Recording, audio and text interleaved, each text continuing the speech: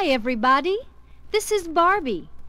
Now we are ready to begin our adventure into the land of fun Barbie's Camping Adventure. Last summer, Mom, Dad, Skipper, and I went camping in a national park high in the mountains. Rather than stay in a motel, we decided to take our camper so we could really enjoy the beauty of the woods. We packed the camper with everything we would need for the trip.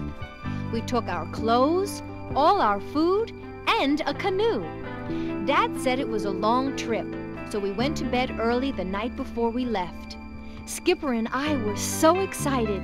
We knew it was going to be a wonderful vacation. We left early the next morning before the sun was up. By the time dawn broke across the green hills, we were already out of town and on our way up into the mountains. Mom and Dad sat up front to share the driving, while Skipper and I rode in the back of the camper. From the window, we could see the beautiful countryside. We passed farms and small towns along the way. A few hours later, the road grew steeper and the air was clean and fresh. I knew we were almost at the park. In a few minutes, we arrived. Dad parked the camper at a hookup that he had reserved.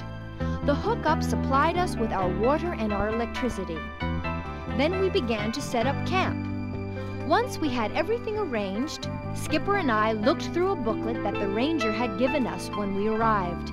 It listed all the fun things to see and do in the park area. By now it was late afternoon, so we decided to wait until morning to begin exploring. Dawn comes early in the mountains.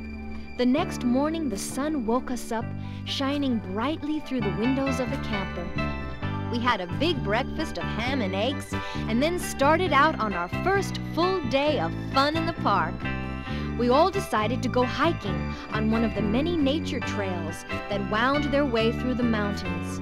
The trail we chose led us through a forest of tall pine trees. On and on the trail went. We crossed over a wooden bridge that spanned one of the many rivers in the park. The water sparkled in the morning sun. Along the way, we saw lots of beautiful birds in the trees overhead.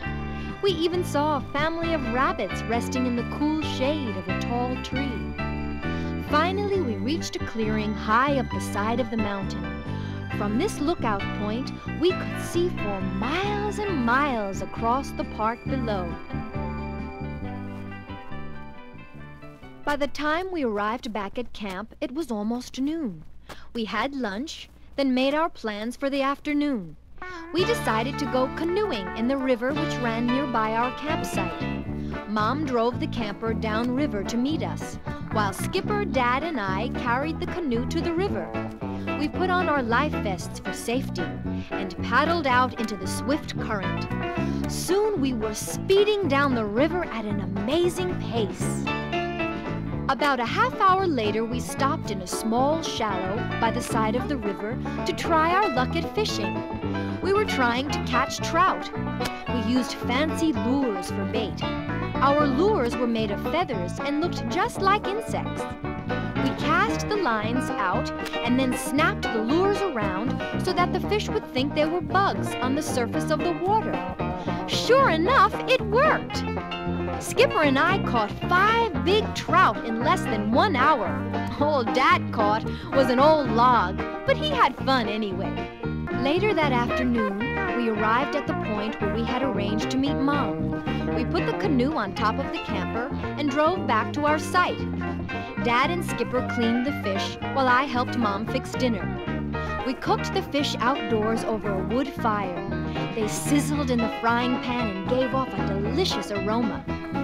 Wind must have carried the smell out into the woods, because soon we had two guests for dinner that we were not expecting.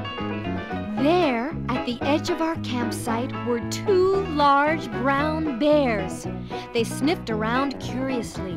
They looked friendly, but I remembered that in the book the rangers had given us, it warned about feeding the bears. They can be dangerous. Quickly, we all hurried inside the camper. Once we were all safe inside, I remembered we had forgotten the fish. We looked through the window just in time to see the hungry bears disappear back into the woods with our dinner.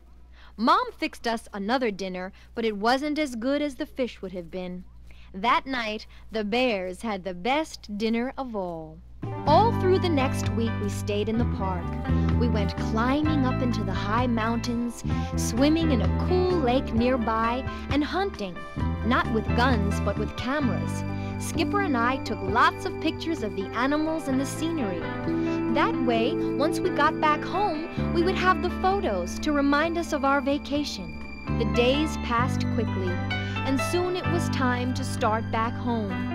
On the morning of our departure, we carefully cleaned up every part of our campsite. We wanted to make sure that the park was as clean as it was when we arrived. That way, the next family to use the site would find it clean and beautiful too. Once we were all packed, we climbed into the camper and began the long trip home. We were all a little sad to leave, but we knew that if everybody respects the park and keeps it clean, it would be there for us to enjoy year after year.